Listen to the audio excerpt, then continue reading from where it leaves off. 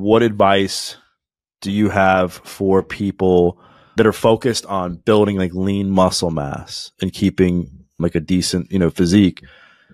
What's the best way to incorporate plant protein that's not going to be anything overwhelming for them? Okay, firstly, I think we need to bust this myth that plant protein is inferior to animal protein for building muscle and strength in the context of a diet that has enough protein, because that is a myth. And even the top protein researchers are no longer debating that.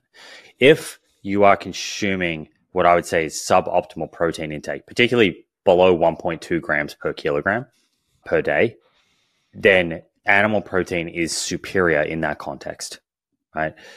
I'm not advocating for diets that are kind of low to moderate protein. I think higher protein density diets are associated with better outcomes. And there was just another paper published on this maybe a month ago out of Harvard that showed two things.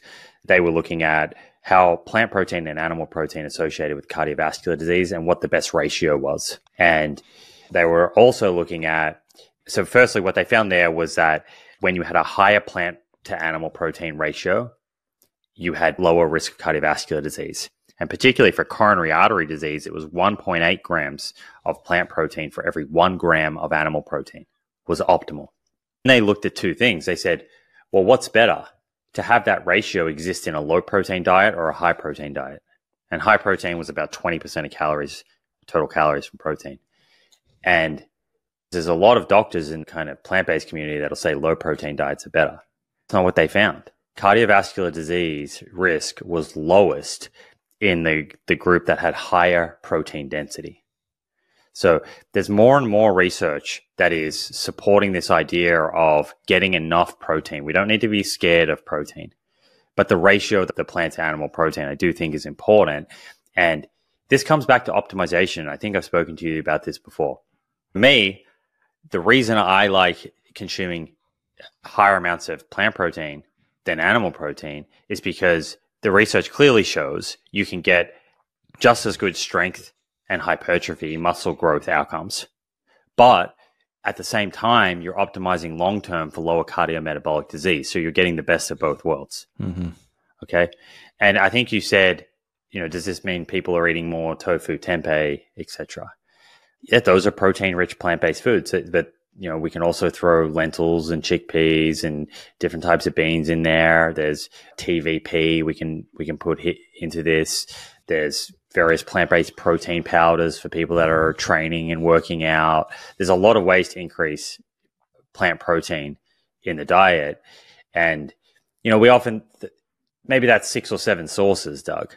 But how many sources of animal protein do you think people are are, are eating? Usually it's probably three or four as well. So we can fall into this idea of thinking, oh, there's not a lot of plant protein choices, but most people that are eating animal protein are only eating those, you know, four or five different sources of animal protein anyway. Uh, yeah, and I'm glad you brought that up. I think the myth has been busted. I mean, at least on my show and listening to a lot of the science based health podcasts that plant protein and animal protein are essentially the same as long as you meet that total protein intake goal.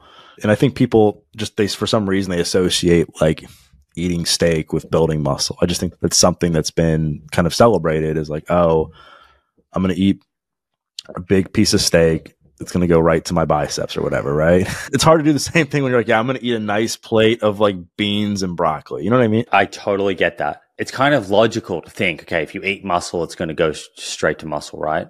I can understand how people think that, but some basic physiology will help people understand why that's not the case. So let's say you consume 30 grams of protein from a steak. Uh, and I consume 30 grams of protein from tofu. And then let's let's go a step further and say that protein is made up of amino acids, and an important amino acid is leucine. When we eat a food, steak or tofu, it goes through our stomach and enters our small intestine, and the protein that is in that food is cleaved. It's broken down into amino acids. Right and the amino acids are absorbed into circulation, into blood, right? Before they end up going to a tissue like muscle tissue and then could be used to build skeletal muscle, right? That's if they go there. And so once leucine from steak enters, it's not tagged as, hey, that leucine came from a cow. And once leucine enters circulation from tofu, it's not tagged as that leucine came from a soybean. To the body, leucine is leucine. It's in circulation. And what we understand, and this is the critical point, when you're eating a diet that contains enough protein, enough of those amino acids from plant foods are getting into circulation.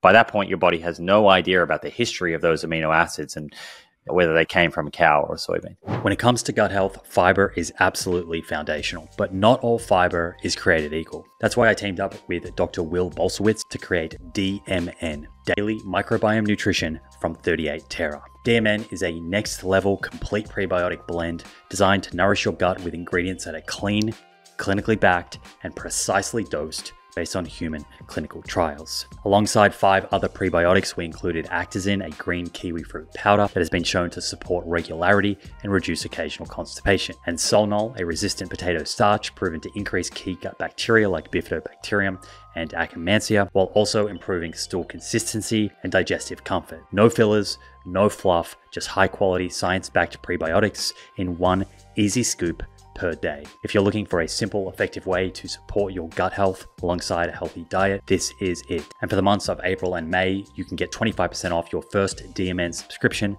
with the code PROOF at checkout. An exclusive offer for the Proof community, bigger than any other offer you will see out there. Head to 38terra.com. That's 38terra.com and use the code PROOF. Glorious poops and a happy gut are just around the corner.